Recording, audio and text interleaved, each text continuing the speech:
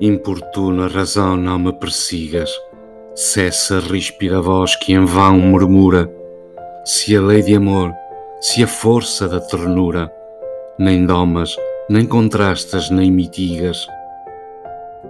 Se acusas os mortais e os não abrigas, se conhecendo o mal, não dás a cura, deixa-me apreciar minha loucura, importuna razão, não me persigas.